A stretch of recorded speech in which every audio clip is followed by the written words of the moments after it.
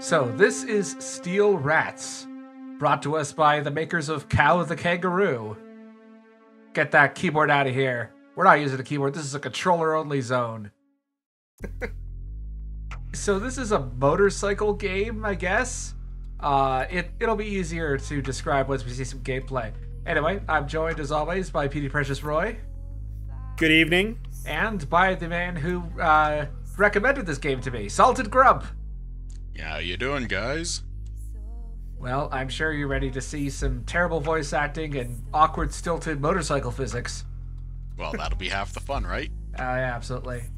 I've been looking forward to it. Also, I hope you like this song, because you'll be hearing it a lot. Honestly, it's not bad.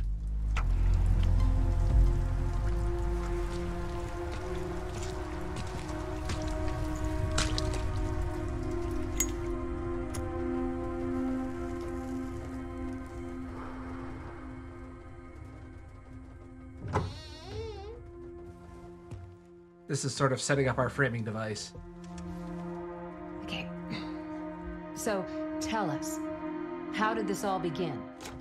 Uh, just to set your expectations properly, Veronica has by far the best voice acting in the game. And, and so little of it. Well, she she does have a, a bit of narration later on, but that won't be in this video, I don't think. Ah, I see there's dangerous Tesla toasters on the prowl. Yep.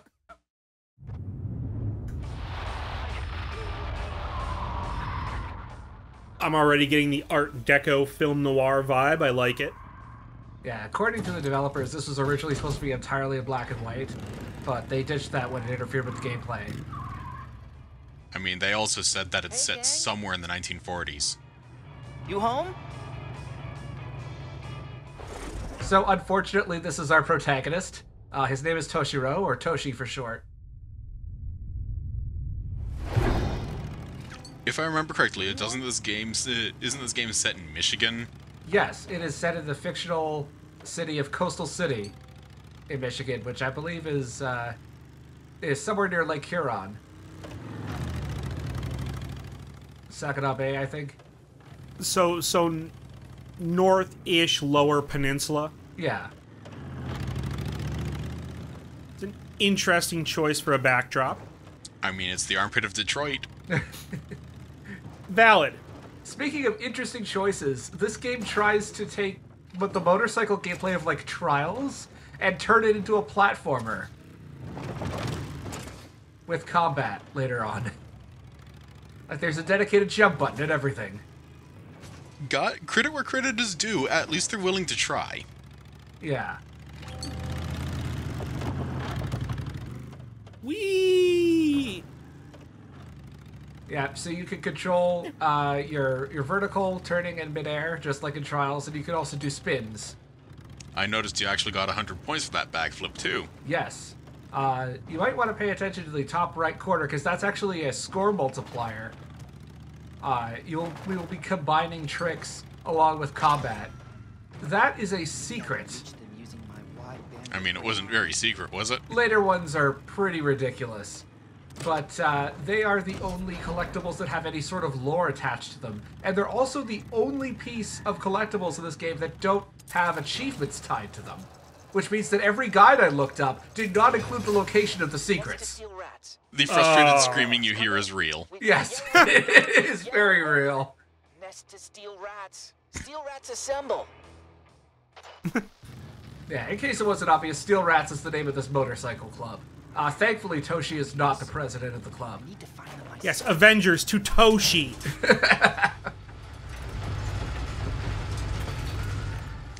Considering how much smoke that bike is putting out, I'm surprised it's even functional.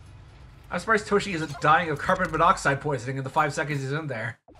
It's 1940. We didn't worry about carbon monoxide back then. It was a different time. So this is not going to be a 100% run. However, I will be getting as many of the secrets as I can find, as well as all of the upgrades and costumes.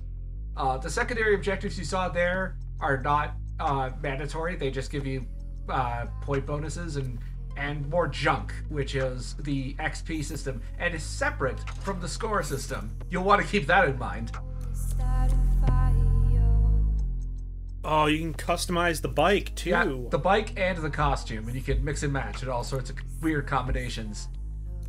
I mean, points for creativity. At least they start with an absolutely hilarious looking pompadour on the guy. Yeah, and it only gets better from there. That is what I imagine a 1940s Japanese kid would think a 1940s greaser haircut from America would look like. Something out of JoJo. Thing is, is that actually there's a massive subculture in Japan regarding uh, biker clubs and extreme pompadours. The most extreme of them can easily get up to two feet in length. Also, the loading tip gave away a gameplay mechanic later, so I had to censor it. Ah, that's okay. Yeah, I remember those. There were like the Elvis impersonators in Yakuza. Was that that kind of group? Uh, yeah, I think the uh, official term for them is something like uh, bokuzo or something like that. It's something I can't pronounce, so don't mind me. So we also have these gears, uh, which you activate by revving the engine. It reminds me a little bit of the uh, bomb locks in Metroid Prime, actually, but at least Metroid Prime has uh, playability. And here's the other major mechanic of this game the wheel saw. It's basically this game's version of the chainsaw bayonet from Gears of War. Uh, the front wheel of everyone's motorcycle is also a buzz saw, and it can cut through most metal. And in fact, you'll need to do so uh, in order to collect junk uh, to buy upgrades. So junk is both an experience system as well as. Well, that's the thing. The junk is at your score. And if you look at this, the, okay, so when you have those numbers appearing, the plus, I think, refers to your score, while the number underneath it refers to the junk. At least I think that's what it is. aha. This game is not very good at user experience. Hey, that's a Sherman tank. Yes, it is. It's also one of the few things that the wheel saw can't cut. For obvious reason, it's 30 tons. Yeah, I mean, it can cut right through barbed wire and concrete barriers, but nope, no Sherman tanks. I'm, I'm beginning to wonder about why there's a Sherman tank on the highway broken down in Michigan. And it's not winter, but I mean, Well, I think the set piece coming up may have something to do with that. So, yeah, the wheel saw can also give you a speed boost, which you'll need in this little set piece here. What the? Yeah, it's kind of hard to tell, but there's a huge robot chasing us, uh, along with a, uh, a laser ray. I was trying to get one of the secondary objectives there to get some extra junk, which is the, a double spin and one jump. Uh, and that ended up making this chase sequence very tense. To be fair, a bit of tense never hurt you, did it? Not with these controls. Oh, come on. Looks like you're having a fun party, kid. Oh, so glad I found you, boss. and now I have to ask, why was there a giant robot chasing him? Because America? it's one of the few things in this story that actually makes sense uh, later on. So this is our second main character, James Jones. He is the president of the Steel Rats MC, and uh, he actually has his own unique gameplay quirks when you're playing as him. Uh, there will be four major playable characters eventually. And uh, James and Toshi also have their own upgrade trees. Right now, we're just going to get an extra energy boost uh, for Toshi. Uh, it takes energy to use the wheel saw. That's the, the first thing. It, it'll become more complicated later. Now, can you switch characters, any mission, play any character? Uh, you actually swap between them on the fly, Oh. which is something that'll be introduced in the very next level. Well, gotta give credit for that mustache on James, because that is a stylish mustache. Oh yeah, James probably has the most variation. Also, this is what the lore looks like. James Jones. His accent tells me that he hails from Seattle, but he doesn't. Uh, citation needed on that one. From what I gather, James rode with several biker gangs before coming to Coastal. What brought him here, we may never know. It's possible that James came to Michigan and Coastal to run away from some dark past he left out west. He has a good heart. The other rats look up to him, and he looks out for them. Not feared, but respected by all. Yeah, so there's one piece of lore for every level. And I will do my best to collect as many as I can. I do, if I absolutely run out of ideas, uh, I do have a backup 100% save file that I can use, but hopefully I don't have to resort to that. You probably will have to, because of course the game hates you. Well, so far I've managed to find every secret. So this is where uh, the game's switching mechanics. You have to hold in the right stick to bring up this menu to switch characters, or you can click the right stick to swap them on the fly. Your crazy story will have to wait. We need to find the rest of the gang. Last time I checked, Randall was fooling around near the old mine. That wacko. I, I love this voice acting. I have to ask, did they not? Whoa. Good job. you need at least one full energy block in order to be able to dash. And when I did it the second time, uh, well, things didn't go well. The ow. Just. okay, yeah. Uh, this this voice acting is just it's perfect. I wouldn't change a thing. And oh god, yeah, this these physics are something else, man. It's very trials. It's the thing. Oh is, yeah. It's trials, but there are attempts to make quality of life features that, ironically enough, make it more difficult to control. So it's trials when you're playing with the super with the uh, shopping cart. Yeah, it's trials with KBM is kind of the feel.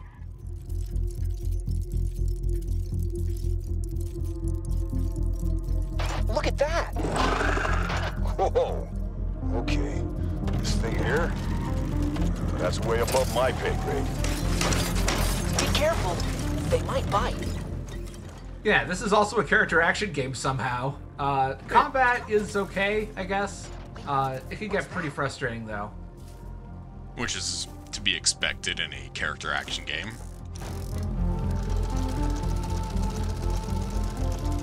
You ever seen anything like that? That's way more advanced. I did not notice that rubber ducky on the side until just now. See, there it is. In the city. Yeah, I just saw it. So that little robot that uh, Toshi picked up, that is the junk pet. That's actually his main method of attack, which we'll be seeing a bit later. Right, you mentioned in Discord that each character has their uh, own unique uh, special attack or whatnot. Yes, they do. I don't think I introduce it in, in this level, but there are uh, doors that uh, they're like enemy door, enemy red doors in Devil May Cry. You have to clear out all the enemies. Yeah, I saw that. It kind of makes sense for the obvious reason of make you have to suffer through the fighting system. There's also vertical driving. you drive along these pipes, and it restore. It also restores your energy. Uh, you're basically glued to the pipes, so there's no real danger of falling off. At least in the first couple levels.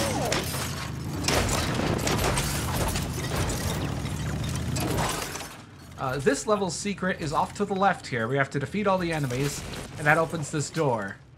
And the secret is a bit behind that. I'm having flashbacks to the episode with hundreds of Tom servos. Nice. Which uh which MST3K episode was that?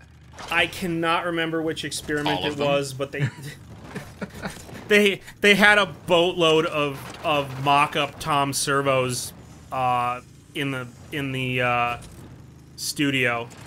Energy boost! Yeah! I don't know why, just the mouth on these things. It reminded me of Tom Servo. Yeah, I should probably mention now. James is the only uh character. Oh, oh. Also, I think I was. Good shot. Yeah, What's up, I, boss? I, I think I was paying attention to something else. Uh, don't don't text and drive, kids. Nice. So there's actually a mini set piece here, which is timed correctly if you don't go for the secret. Because there are there are trains that go across the tracks there, and if you're actually playing the level normally, it'll be timed so that you just miss the train. I mean, aesthetically interesting, but they really should have scripted it so it goes when you head that direction, so you can actually get the secret and not have to uh, miss that. Yeah, the script trigger gets hit way too early. And uh, I guess I should also point out you have to be using the wheel saw for the most part in order to defeat these enemies here. Randall! Come in, Randall! It's just static. That kid is a real trouble magnet. This game also has trouble when it comes to timing its dialogue. Like I had to slow down to make sure you could actually hear it uninterrupted. Did I just hear that kid go yippee? Yeah, that's Toshi. Anyway, this is one of the few places where I could consistently get stuck in the geometry. If you crash in that exact spot, you'll respawn it in the middle of this ramp. and you'll you'll get stuck. There there's uh, without some real physics shenanigans, the only way to get out of this is to restart the level. Congratulations, you fucked up. Does it count as fucking up if I did it on purpose? yeah, it's just the scale of the fuck up. Okay, fair enough. Uh, I guess it's also worth noting uh, this game works on a lane system, kind of similar to Excitebike, except it's they're not strict lanes. There's still limited 3D movement in between the lanes, which causes a lot of trouble. You also complained on Discord about how because the lanes aren't strict, there's shenanigans and fuckery afoot because you can end up with, well, mayhem going on. Oh yeah, we're gonna see plenty of that in this LP. Don't worry. Uh, that, I would tear my hair out if I also had to do the optional objectives. Thank God I'm not touching those. You don't you don't need them for the upgrades anyway. Only for one trophy. I guess it's worth pointing out. Uh, all of the trophies except for the very first one have an under 10% completion rate. I wonder why. Wait, no, I don't. Hell? It's the curse of steel rats. This is awesome! So that is the junk pet. It is Toshi's primary attack. As you can see, the range is, is pretty shitty, but uh, don't worry about that. It's uh, I also noticed the junk pet clipping through the wall. yeah. Huh? This what now? Mobile radio unit. Mark IV. They have extremely wide bandwidth. Maybe we could use it to contact Randall. All right. Get on it.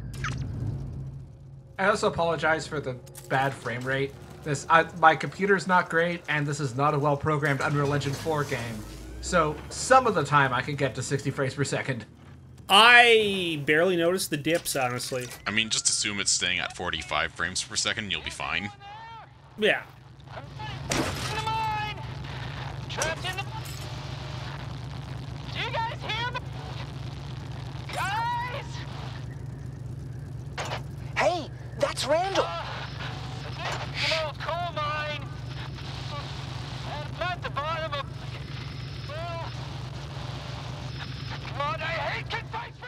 And just in case you think we're done with the story segment, right after that is an audio log radio broadcast, I know what your which is not subtitled, so I subtitled it for you.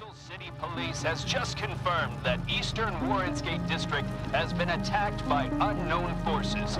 I repeat, Coastal City has been attacked by unknown forces. The, whole town hall is urging citizens to stay in their homes next to the radio set.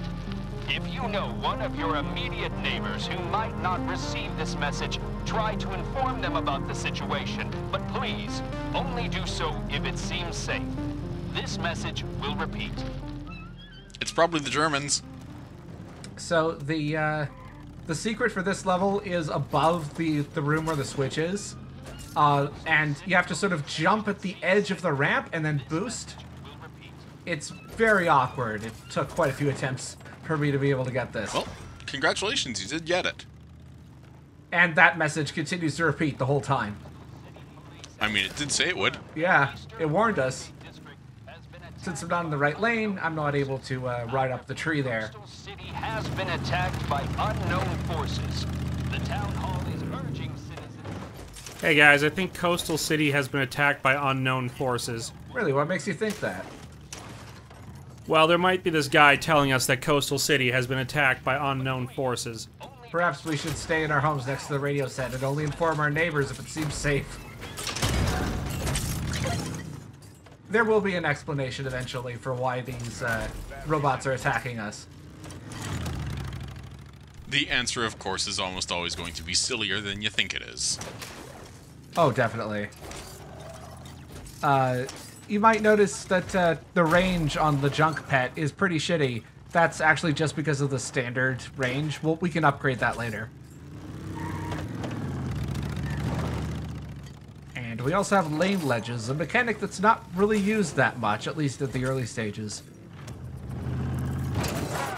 So now we're going to introduce the primary attack for James, which is just a big, heavy melee attack uh, with a, a short range. It's basically the equivalent of a shotgun. He basically bounces the front wheel off the ground and creates a fart wave. And of course, that causes physics problems later when you try to do it in midair. Oh, okay, a perfect double backflip. Travis Pastrana would be proud. Wee! And as you can see, the in the top right there, the score multiplier is currently at 5x. I've been keeping it at that level mainly by doing tricks on the way to the next fight. And then you immediately got it tanked to 4x. Yeah, because I, I didn't do much. It's it's a, a, a pale imitation of the style system from Devil May Cry. Not enough energy.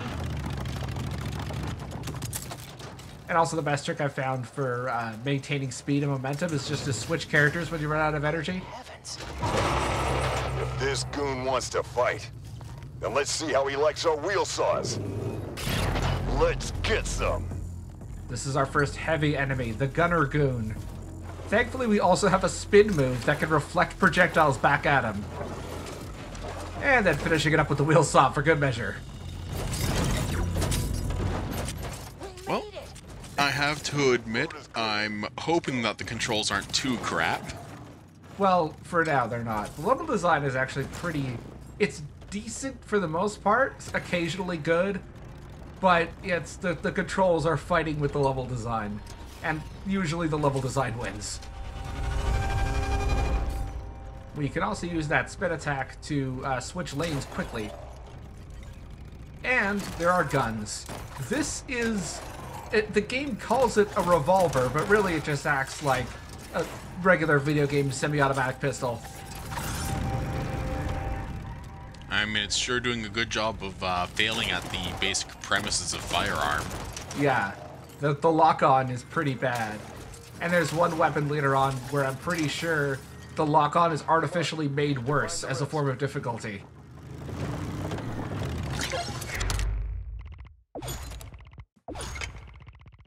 So that's it. That's the last level uh, in this update. But before we finish things, uh, I thought I would uh, have a little joke for Roy here. Oh no. Yeah, the, the video files are stored entirely as MP4s, so it's very easy to swap things out.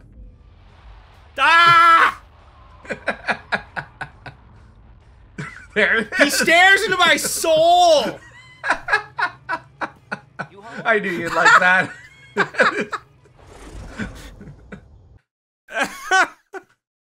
Okay, that that got me. It was worth a good hearty chuckle. I just didn't. so, uh, what do you guys think of Steel Rats so far? I mean, honestly, it might have had promise if it wasn't so janky. Uh, you might want to think that uh, think that through again once we get to some of the later levels. Uh, I said might have had yeah. promise. I enough. think I think ambitious is the nicest word I can use for what I saw there. Um maybe lacking in polish a bit right out the gate, but Optimistic. optimistic. I I remain optimistic. I like to try to see the the polish on the turd, you know. Um before we get down to the turd. I mean, let's Ah. be fair. The MythBusters already proved you can actually polish a turd, so Well, there you go. Yeah, so it I just mean has to be compressed flat and turned into a paper first. there there might be something here. You know, this is all I'm saying, and I'm willing to stay open to the possibility of it not being a completely rank knockoff of Trials.